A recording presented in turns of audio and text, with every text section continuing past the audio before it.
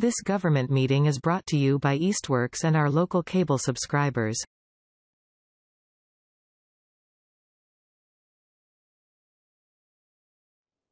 We are now recording. I'd like to call the- to order the meeting of the Easthampton Historical Commission. It's uh, November 9th and six thirty-three. Uh, First order of business, public speak. Anyone from the public that would like to speak? If you're on Google Meet, just uh, turn your video on and start talking. Doesn't seem, doesn't seem like it. You got one person there? Uh, Yeah, there's one person, but I'm on Google Meet. This is Michael with Associated Builders. I'm uh, available. I just don't have video. okay. Okay. uh, There's, there's no public speak. Uh, I'd like to open the hearing, the matter of uh, 29 Union Street and the uh, Community for Human Development, Center for Human Development, I'm sorry. I'd like to state your case. Sure. Good evening, Mr. Chairman. My name is Felicity Hardy. I'm the General Counsel for Center for Human Development. I hope it's okay if I sit. I can stand if you would prefer that. Um, I uh, am accompanied tonight by our team uh, for the redevelopment of the project. Um, I'm going to introduce them from my right. Um, over there is Jim Goodwin. He is the President and CEO of Center for Human Development. Next to Jim is Al Nardi. He is the project architect. Um, next to Al is Dan Dodge. He's our project manager. And Michael Ciolek just introduced himself on Google Meet. Uh, he's one of the principals of Associated Builders. So together, Dan and Michael will speak to any questions you might have of the general contractor. Next to Dan is Tony Papa. He is the structural engineer who we uh, engaged to, to look at the structural integrity of the building. And then last but certainly not least is Jeff Kazeroid. Jeff is our Director of Facilities for Center for Human Development. So um, I want to talk a little bit about um, our uh, plans for the redevelopment of 55 to 69 Union Street. And um, I submitted some written materials to the commission ahead of time, but we've also prepared a PowerPoint that recapitulates some of the materials in uh, in the materials I sent to you. I'm not great at directing PowerPoints while I'm speaking. So, um, and I'm a little disoriented with having to speak to you, but having the presentation behind me. So I'm going to try to have eyes in the back of my head. Um, and Eli's going to help me with um, the, the slides. Yeah, I'll just say there is a photo board. If that's helpful, we could put on the table. It's just sort of hard to set up with the room set up here. Um, but, don't. See, we have pictures here. too, all right, Okay, all right, digital it is. so if you could start this uh, PowerPoint, Eli.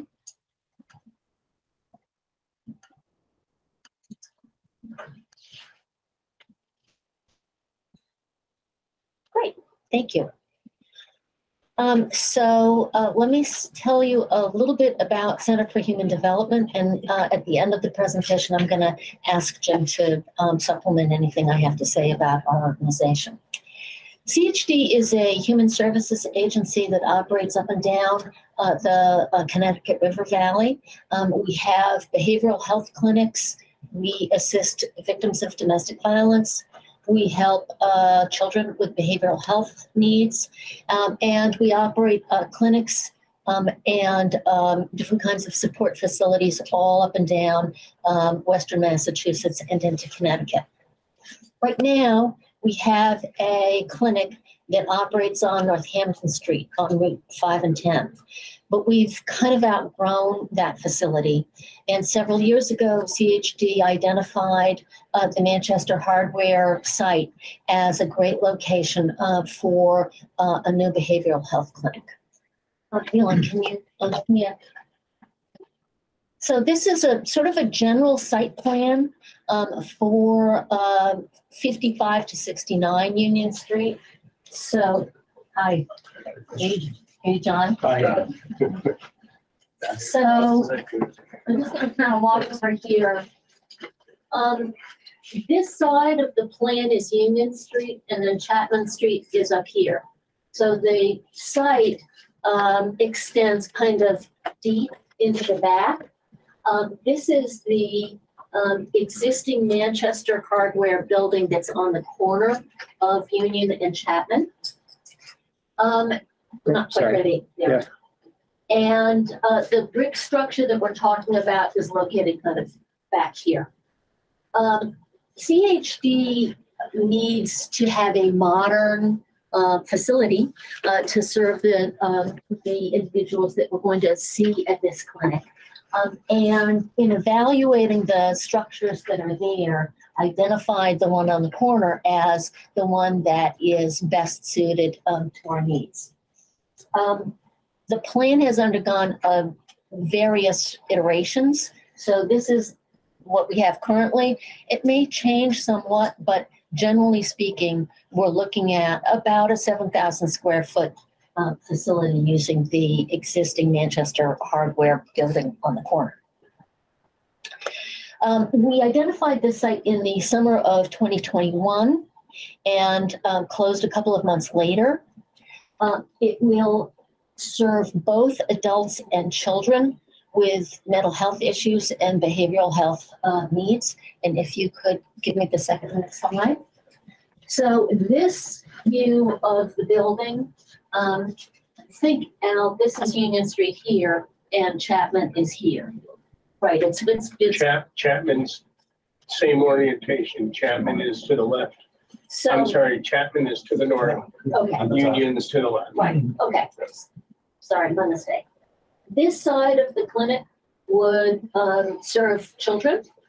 This side of the clinic would serve the adults. So for a variety of clinical reasons, it's kind of important to have um, the um, children's services delivered in a zone that's separate from the adults.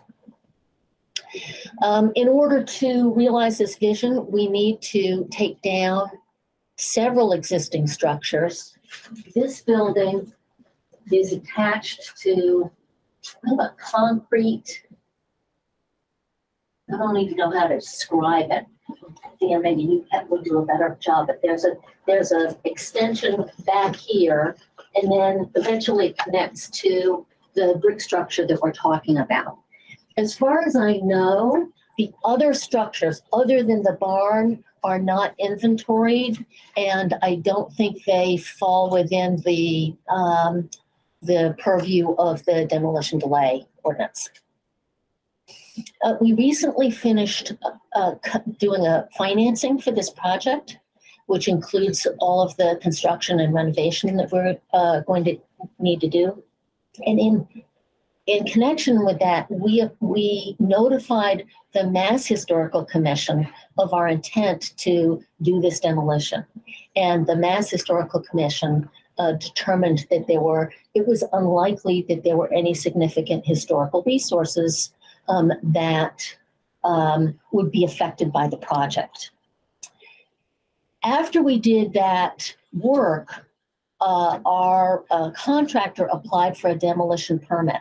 And it was at that point that we learned that um, the that 69 Union Street was on a cultural inventory form, and that triggered the commission's review. It's my understanding, and um, the commission probably has a lot more background about this than I do, that within the last two years, the city of Easthampton did a big inventory of historic structures in and around the Main Street area. And this building um, was inventoried as part of that review. What we do know about that survey is that th- this building was not prioritized for any kind of preservation, and it's outside of the what they proposed as the Northampton Williston proposed historic di- district. Um, I, as far as we know, the building has not been nominated to be on either the state historic register or the federal historic register. So while it is over 50 years old, while it did show up on the cultural inventory form and thus is appropriate for your review, um, other bodies that have looked at it have not um, uh, identified it uh, as particularly important for uh, for preservation. And the next slide, please. Now, I want to talk a little bit about the cultural inventory form because obviously that's one of the reasons why we're all here tonight. This is a photograph from that form, um, and um, it's I think it's a really good depiction of the southeast facade. You can see these modern garage doors, modern uh, window sashes, which I'm going to show you in greater detail in a few minutes. But uh, the uh, firm that did the cultural inventory form identified the prop, the property as having been constructed in about 1909. It is not built in any particular architectural style. It was a livery, it was a barn. And so the, whoever it was who originally built it didn't necessarily have particular architectural um, uh, thoughts in mind in terms of building the building. The owner was a gentleman by the name of Frank Haynes. He left the business in 1917.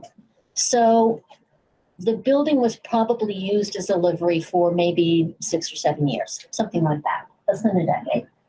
And then sometime later, the site was bought by the folks who um, built the Manchester hardware business.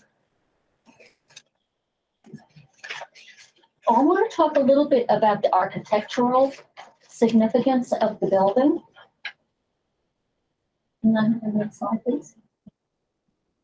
So um, I'm, I'm gonna cede the floor to Al in just a minute, but um, I did want to show you this particular slide, which again shows these sort of modern vinyl uh, window apertures, modern uh, garage doors and so forth. Um, the, uh, this dormer is new, there's some other things that are new. Um, but Al is here really to talk a little bit more about um, the fact that the building doesn't really have architectural integrity. So Al, I'll just let you speak for a few minutes about that. Again, my name's Al Nardi. I'm the architect. Um, Perhaps unbeknownst to some of my team, I am the vice chairman of the Springfield Historic Commission. So I, I came looking at this thing way back when, said, oh, cool, what can we do with this? Yeah.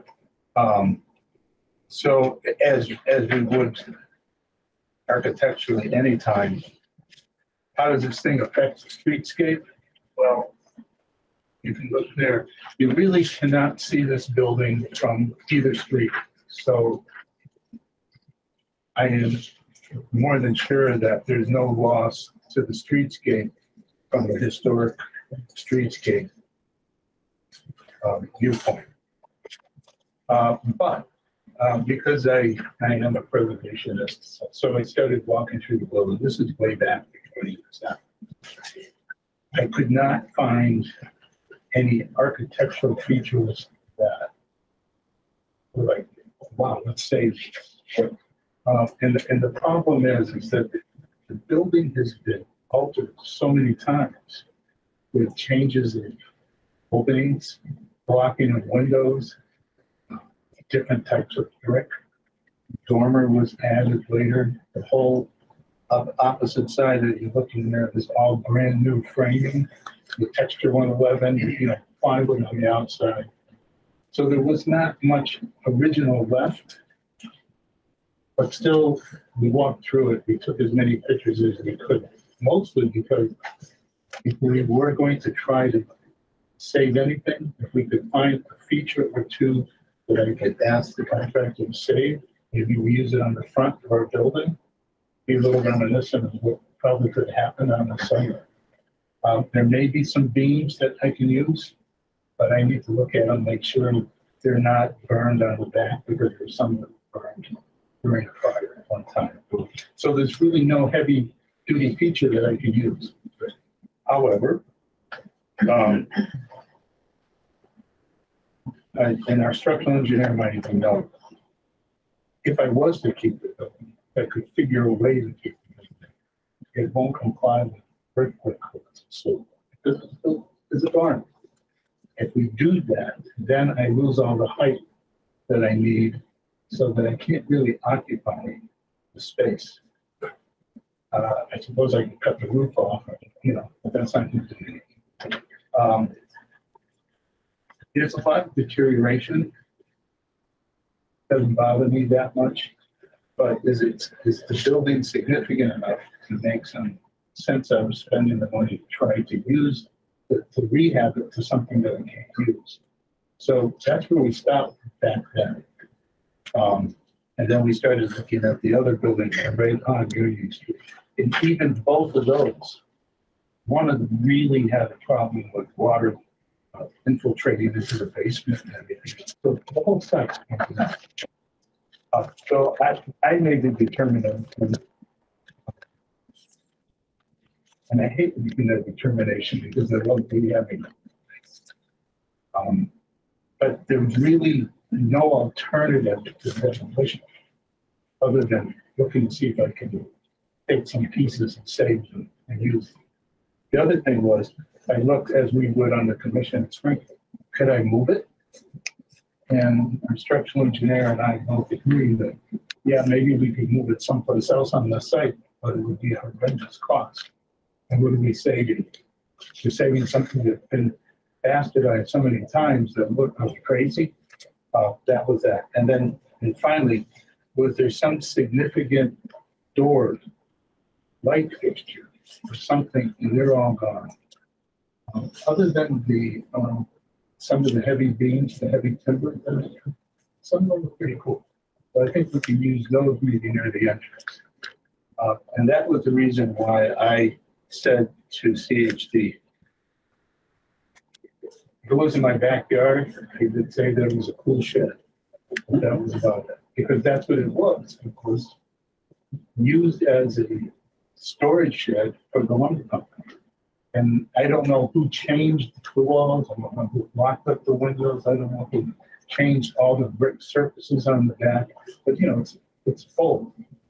Um, so that was my determination, and that's my, my input to you from, from the preservation, I know the character. Uh, I wish I could, but I can't. So why don't we just go through some of the photos because they're, they, um, they illustrate some of Al's points. One of the things you, might have seen in the, uh, earlier photograph is that there's a very sloping topography to the site. Um, and so the water is flow, and it's all hardscape. There's no, there's no, there's nothing there to absorb stormwater runoff. Um, so whatever doesn't get caught in a catch basin is gonna be running down the driveway essentially. And what you can see is here about eighteen inches of uh, mold on the exterior.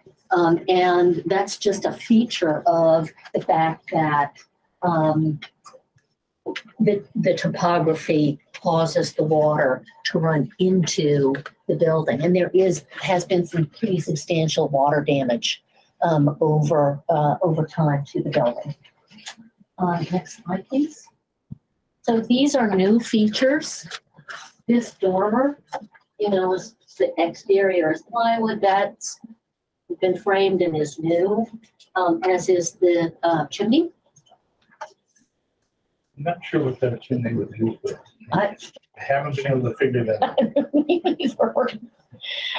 Maybe they had a wood burning stove. They, they, there was a wood burning stove back there. Maybe that's what caused the fire. I don't know if it was a pellet stove or a wood burning stove. There was a, fi- uh, we're not quite sure when this happened, but there was a fire because we, we've seen some evidence of fire damage to some of the joists and the supporting columns. Next slide, please. This is, this shows that. Um, I'm not like a real construction guy, so maybe Dan, you can explain to the commission what, what they're seeing in that slide. Sure. This shows, um, an old column and beam. There was a fire, you can see a nail, a nail, fire continued. This is on the first floor. In the basement where you have the exposed joists, you have charred off joists as well. Looks like they tried to cut it. Why, I don't know, but that's the purpose of those nails. And then they somehow tried fastening in that piece again, which has continued to be charred. And what you see there is not like it kills or bends fire, uh, smoke sealant. They use just regular, regular paint. But this occurs in several locations.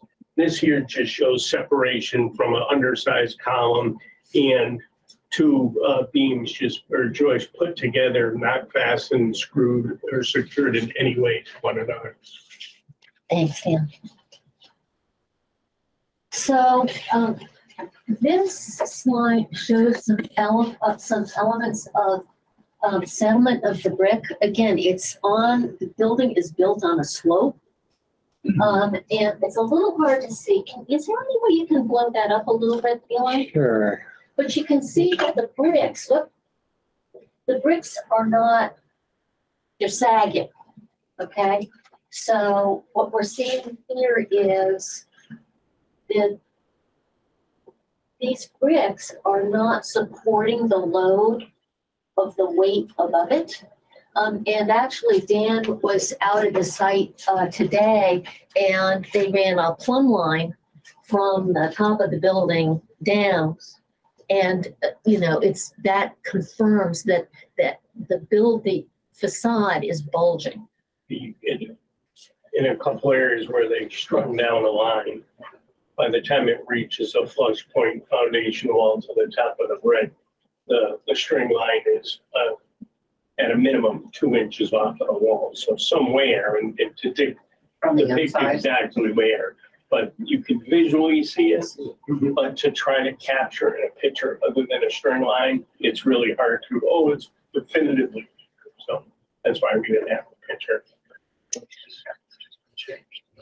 Yeah, Okay, so this, this is kind of an interesting build, a, uh, view of the, of the eastern facade because it kind of shows us all of the different brick that has been used over time. It, it would be hard, I think, to even figure out what the original brick is. It looks like this here might have been an opening perhaps for the coach or the carriages that were being stored on site.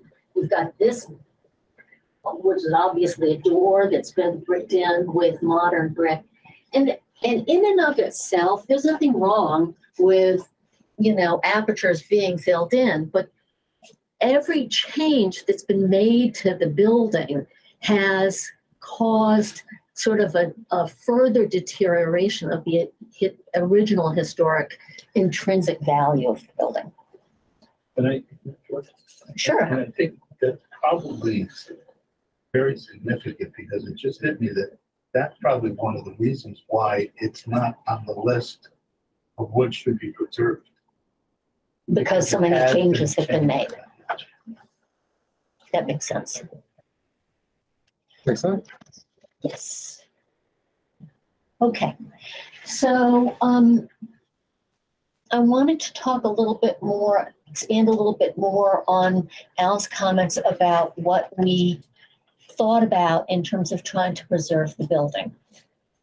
It can't support current codes for live loads, snow loads, wind loads, or seismic loads. So structurally, the, the building was probably fine when it was built at the turn of the 20th century for its use, but it's not capable of uh, being used in a, in a modern context now. Uh, to bring it back to current codes and for us to occupy it, we would essentially have to take the entire building down and start over. Um, we, because it's a public building, we would have to install an elevator. There are just major, major uh, challenges for CHD or anybody to use this building. We were not the only group that was interested in buying the Manchester hardware site. I think you know, the, the folks who have, you know, the hangar restaurants in Northampton and Amherst, and I think there's one in East Long I'm not quite sure. So in East Long? Westfield. They were interested in the site and they would have the same issues that we would, anybody would.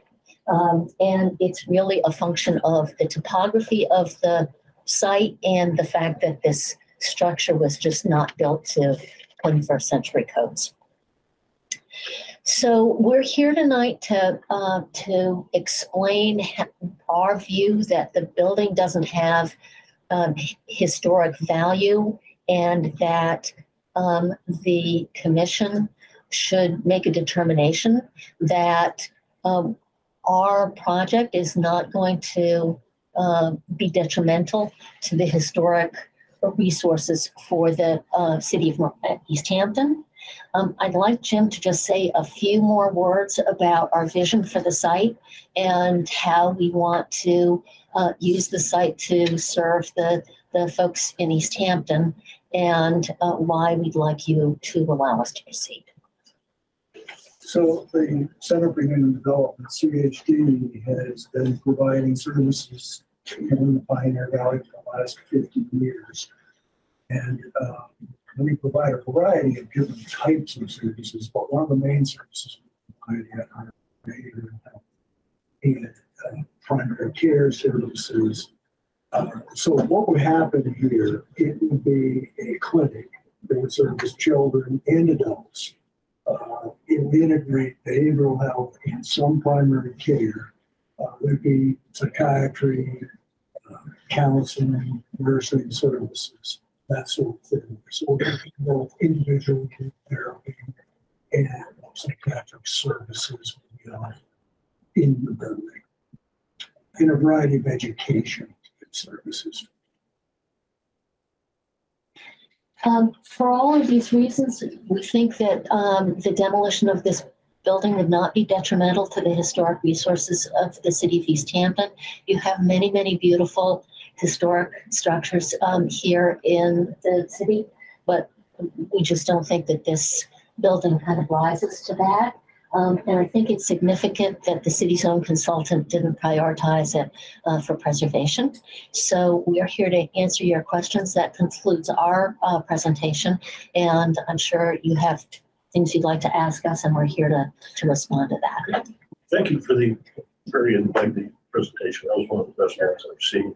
Thank you. Uh, to open up for the commission, have any- any questions? I have a question. First site plan that you showed us. Sure, let's, can we go back to that? Yes, I noticed there's a lot of green areas um, next to the building. What, what is your intention for the rest of the landscape there? so this is conceptual. We- We're, we've started, I think we're starting the site engineering now. One of the things that we will have to do is uh, make sure that the site is developed, as we redevelop it, reduces and does not increase stormwater discharge. Um, so, um, what we are trying to accomplish is create some, um, green space. Green space helps to absorb stormwater. Um, so, um, we think that, um, this is going to assist with that. I believe that this strip along Union Street is part of a larger project to improve the streetscape along um, Union Street. And in fact, the planning department contacted CHD about nine months ago to get easements in order to be able to, um, uh, think it's sort of improving the, the, uh, upgrading the sewer system here and then improving, um, the sort of the green space along the Union Street corridor. And then, you know, again, this is conceptual, but the idea is we're going to develop this parking area here and um, provide some um, islands, both for traffic management and for um, stormwater capture. Right now, if the building is not touching part of the real estate, it's paved. um, with the redevelopment, um, the city of Easthampton does have zoning requirements that, uh, the developer or the owner, CHD, would have to abide by minimum, uh, green space, impervious areas. So this would meet or exceed the open space requirements. So again, this is conceptual to show how it is going from a sheet of asphalt to properly placing, not only for view, but for, you know, some, um, I believe City of Easthampton also says in a parking area, you need so many trees, green space within so many areas. So this touches on some of that and how it would be addressed. I- I do want to say this is very preliminary because we just finished the surveying of the site.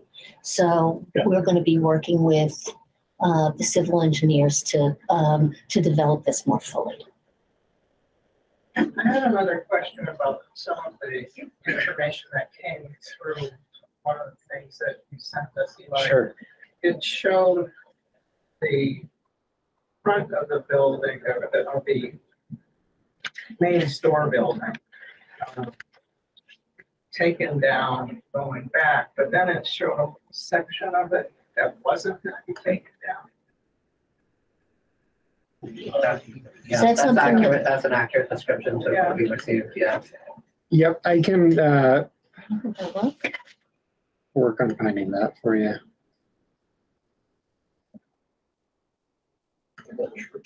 That was a little confusing. In terms of the, the diagram as to I'm why. sure what you were looking at. Yeah. It- Yeah, it looked like a, a cross section of, from looking at it from Union Street. Yeah. Part, part of, part of what is there would still be standing on the right and on the left, and then it was being plowed through straight. And being really familiar with this store, it's my favorite store in town. It would have been one of mine too, actually. Um, I could not understand. Maybe you think that there was a, there was an alleyway between two of the lumber company buildings that was closed in with some concrete, concrete block. And the drawing was not, I would say, clear enough to, Is it, So could you point me in the direction of what you were looking for? it was one of the first emails. Is there any way you could pull up an aerial of the site on Google Maps? Sure. Because there are five buildings which make up the assemblage of the current. And I can walk through uh, in brief, but can maybe it'll, maybe you can point me to that. Kind of in order on how the buildings were built.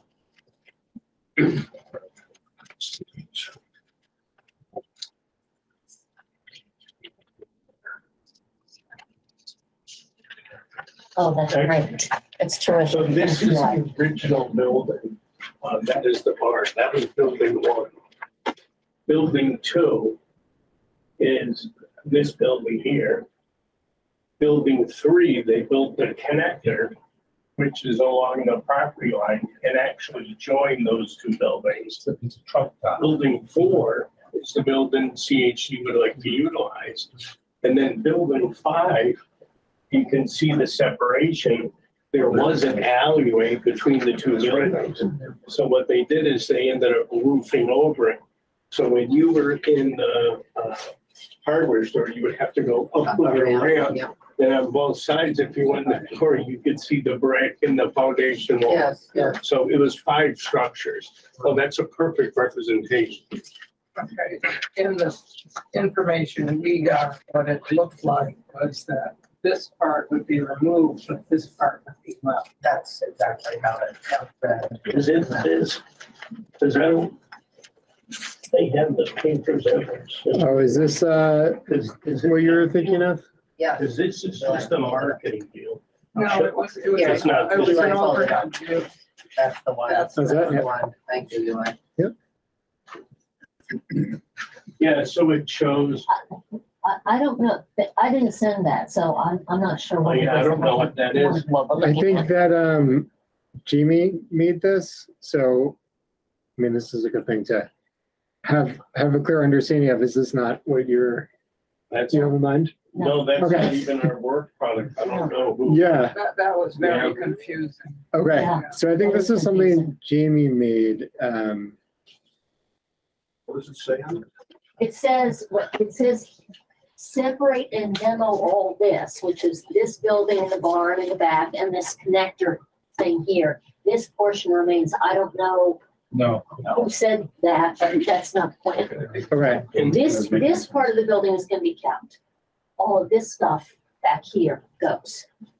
in that little section on the right also, yes, that says this Yes. portion remains. Okay, Yes. So that's all, just the corner, the newer building. Right. Looks Yep. it would be everything there over. Because this here is the alleyway.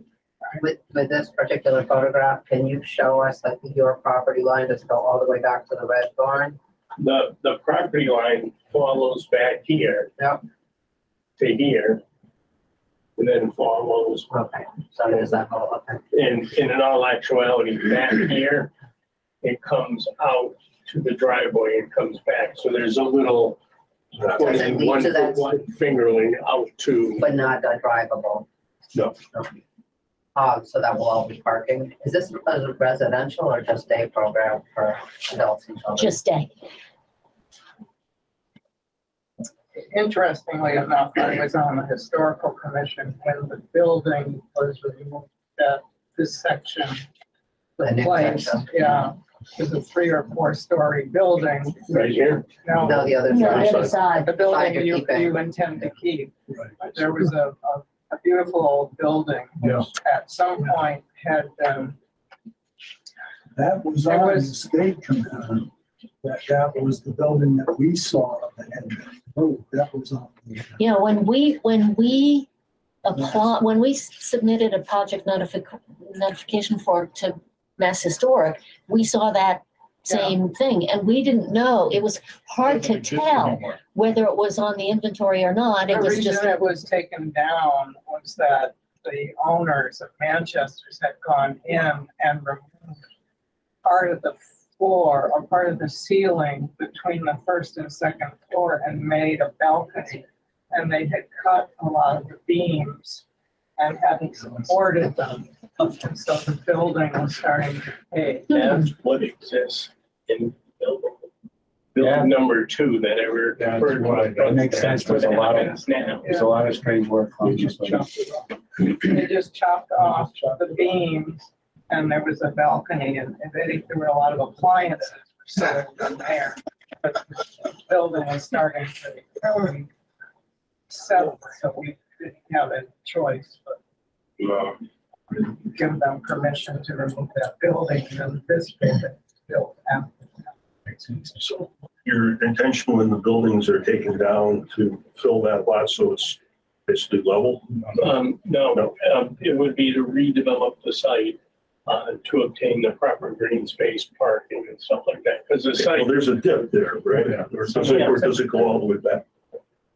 It does, and, and, is- and that would be part of our civil engineers balance to, to do that. Because we couldn't wall the whole site, then we would end up with walls all the way around. So a lot of it will be accommodated with proper cuts to fill on the site. I'm trying to get Two picture. parking levels. Um, naturally. So there will, there won't be any other building, uh, like, No addition.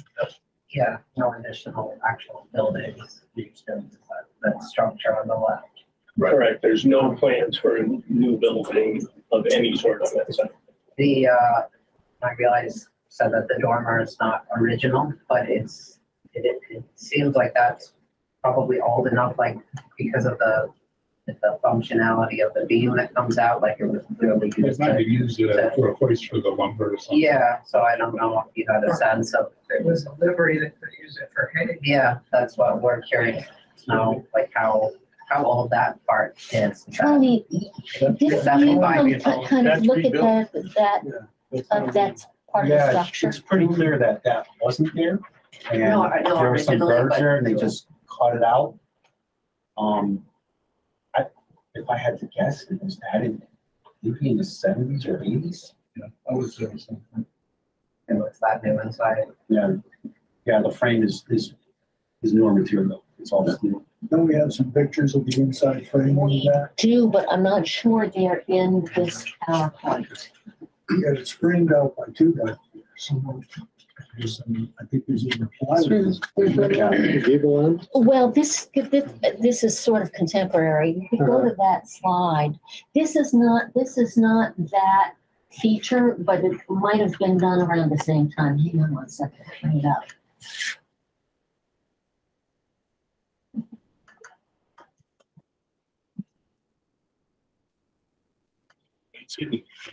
So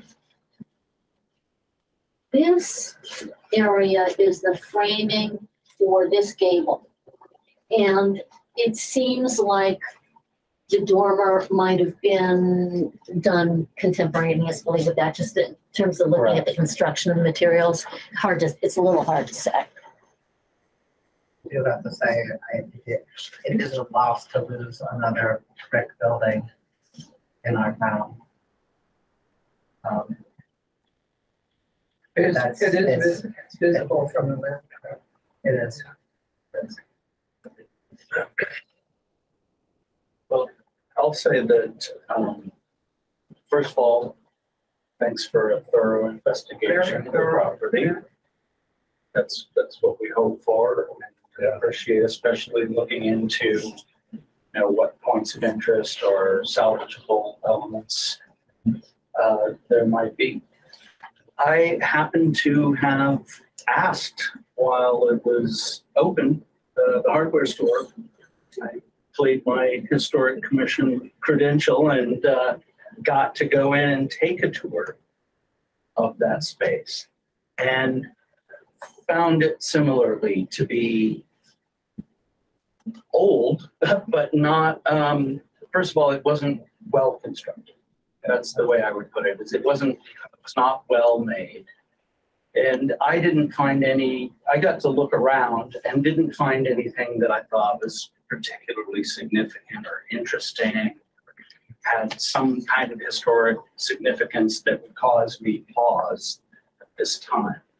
Um, it was a barn, you know, and one that had been, you know, hacked together and re, things had been, you know, redone and reworked and so it's not a lot of it contemporary and even the old stuff, while interesting, and I think if you save some of the timbers, that would be fantastic. In, that, um, I wouldn't imagine in any way to reuse, uh, though I agree, you know, I think uh, red brick is the kind of thing that eventually is going to be looking salvage all of. But I, it was a building that I would think is the kind of structure that I personally, I, I can agree that I couldn't see any way that it is significantly preserved. Not consistent. The bricks, they're all different. The Yeah. Parts of the building. There's a lot of different bricks.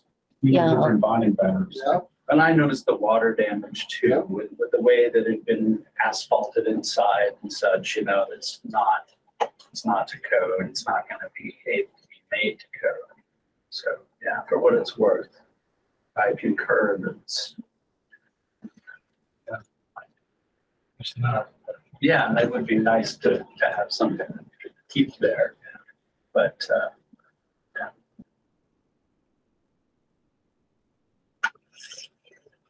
Anybody else have any other questions, comments?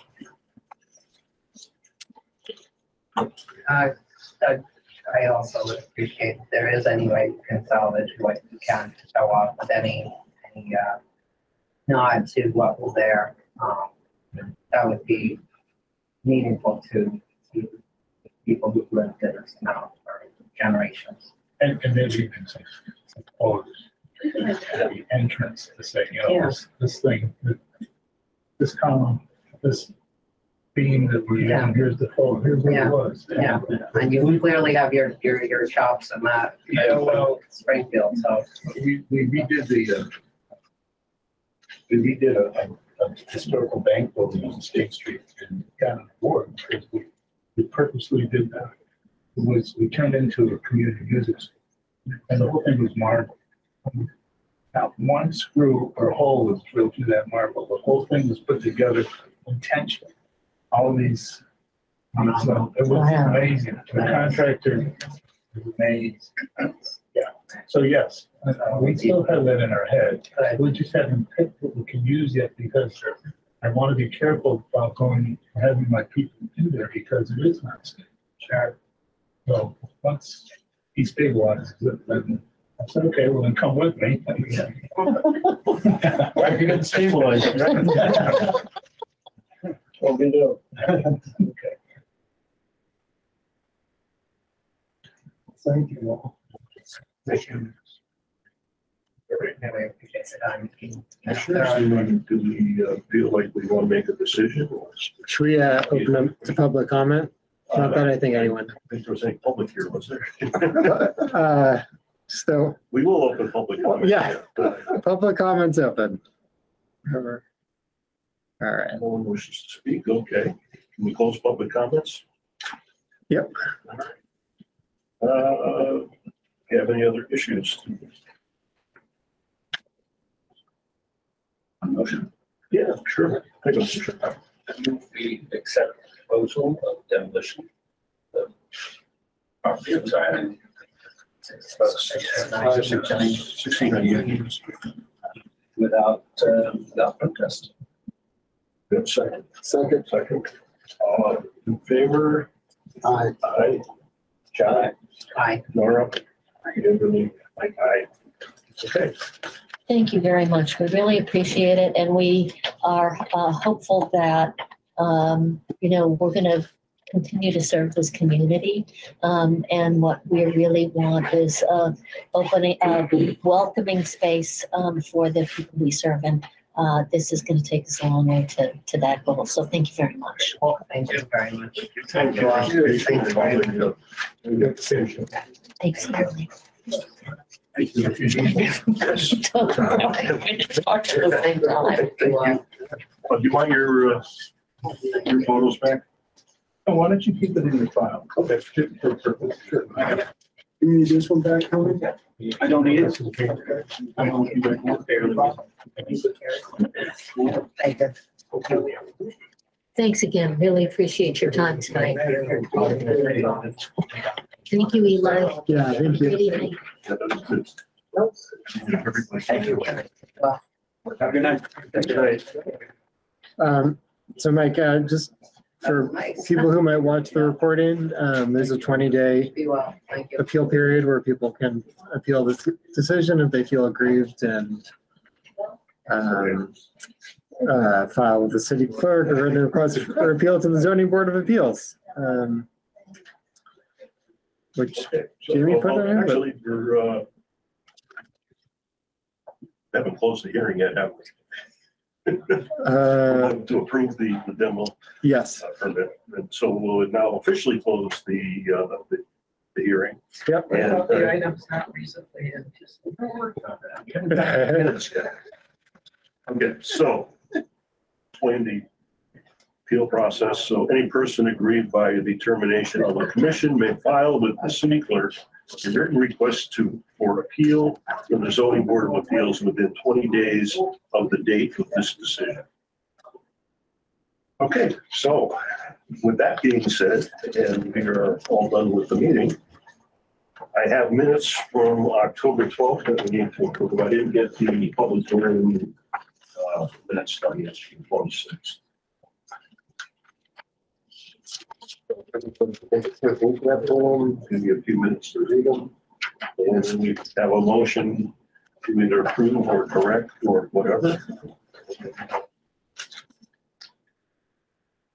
We will move by the- that part.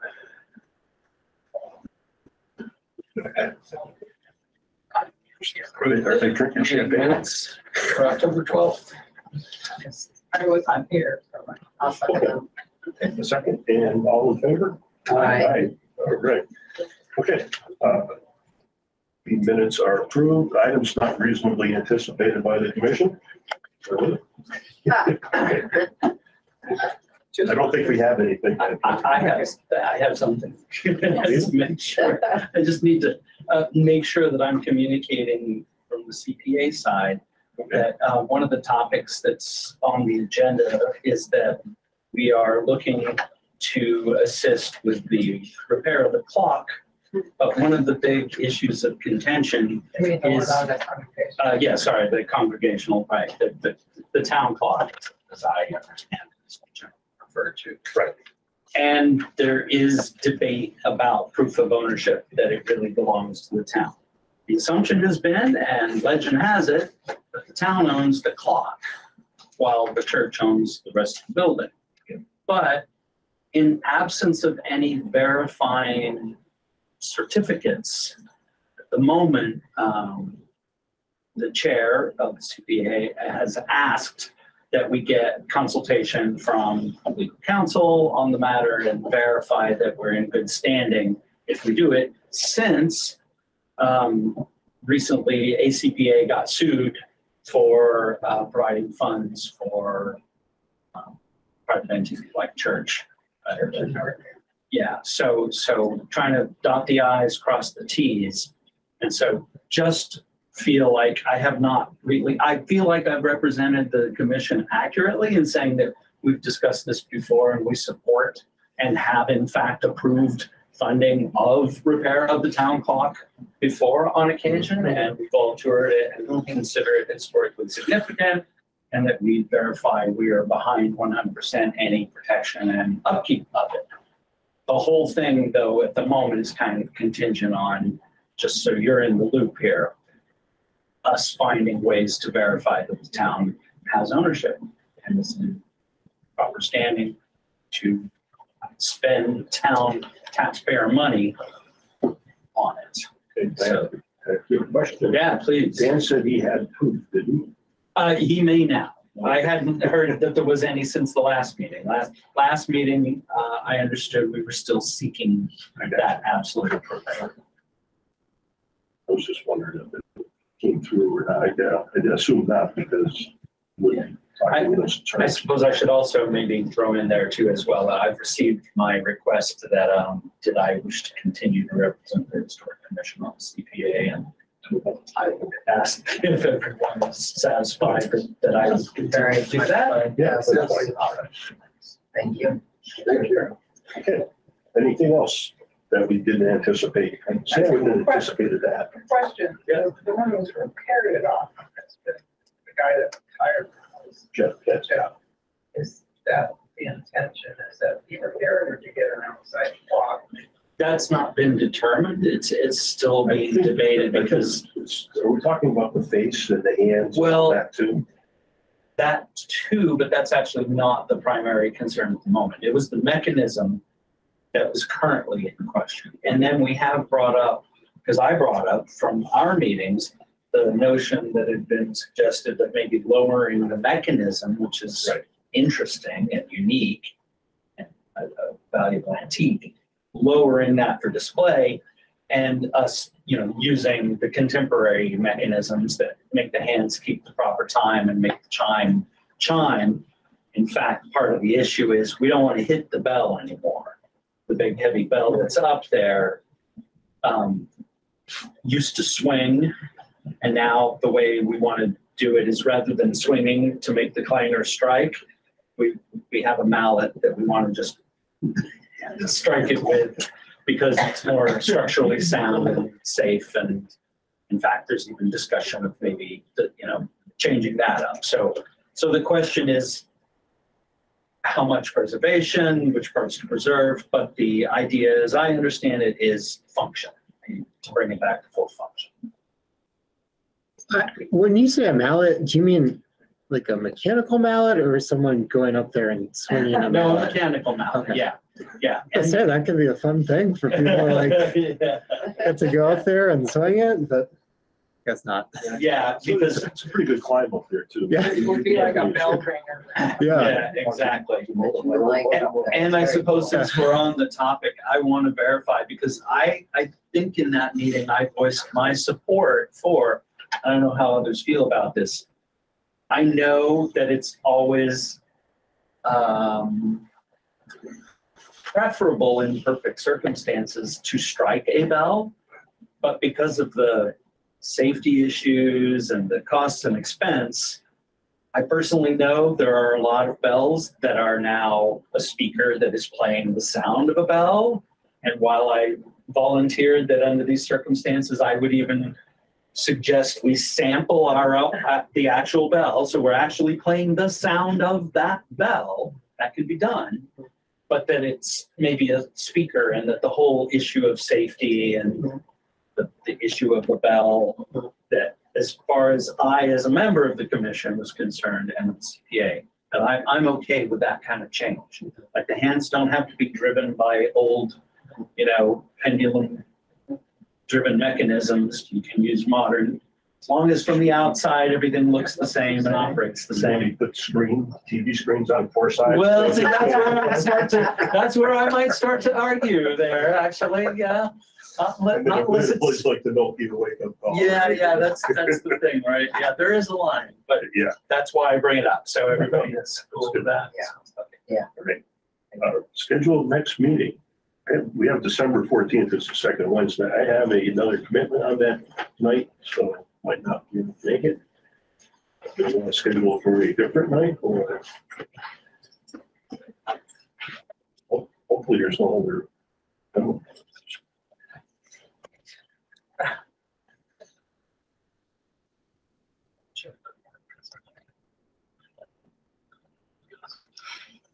It might be a good idea to schedule over email just because even if we schedule now, there could be a conflict Okay. with another committee. Um, we could come up with something, it just might. we- There might not be a space. True. Well, I'm just, you know, everybody, uh, uh, you want to, can you do a doodle poll? Sure. You know what, When we do that, Okay. everybody on board with that? Yeah, sounds Yeah, good. before, Right, and that way we can get, pick a date when everybody's available. If, if we need the fourteenth, Okay. Fourteen, right here, so. oh. If we need a date around that. I can- Yeah, I mean, we could either go the Wednesday before, the Wednesday after, or whatever, but you know, if we do a doodle poll, just Sure. get, uh, Are other nights of the week options or sure, no? Okay, it all depends on which they are, you know? So, I mean, I would right. For me, preferably Tuesday or Wednesday. Yeah.